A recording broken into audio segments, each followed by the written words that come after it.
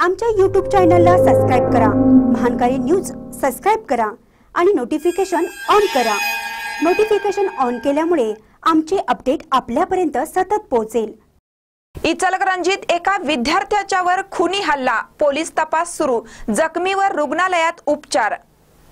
इचलकरंजीत एक मोठी घटना घडली आहे. जवाहरनगरमध्ये एका विद्यार्थ्याला भोकसण्याचा प्रयत्न झाला आहे. इचलकरंजी जवाहरनगर भागात दहावीची परीक्षा संपल्यानंतर विशाल कुंभार या विद्यार्थ्यावर खुनी हल्ला झाला आहे. विशाल कुंभार हा दहावीच्या वर्गात शिकणारा विद्यार्थी होता. त्याने आज दहावीची अखेरची परीक्षा दिली होती. परीक्षा वर्गातून तो बाहेर पडला आणि त्याच्यावर चाकूचा हल्ला झाला. विशाल कुंभार हा गंभीर जखमी आहे. त्याच्यावर आयजीएम रुग्णालयात इचलकरंजीत उपचार सुरू आहेत. विशाल कुंभार यांनी एका विद्यार्थ्याला आपला पेपर दाखवला नव्हता आणि त्यातून हा खुनी हल्ला झाला असावं असं बोललं जाते. घटनास्थळी शिवाजीनगर पोलीस दाखल झाले असून चौकशी सुरू झाली आहे. महानकर न्यूजसाठी इचलकरंजीहून दत्तात्रय कदम.